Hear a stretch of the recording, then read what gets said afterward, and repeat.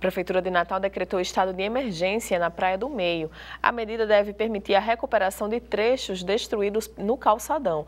A repórter Daniele Carvalho tem os detalhes. O decreto assinado foi publicado hoje no Diário Oficial do município e autoriza a contratação de prestação de serviços e de obras para a recuperação do calçadão na orla das praias da zona leste da capital pelo prazo de 90 dias. O decreto prevê ainda a reinstalação da iluminação pública e equipamentos comunitários em geral. Nos últimos dias, a maré alta tem causado erosões em trechos do calçadão da Praia do Meio, o que pode trazer riscos a banhistas e frequentadores. Daniele Carvalho para o TV Notícias.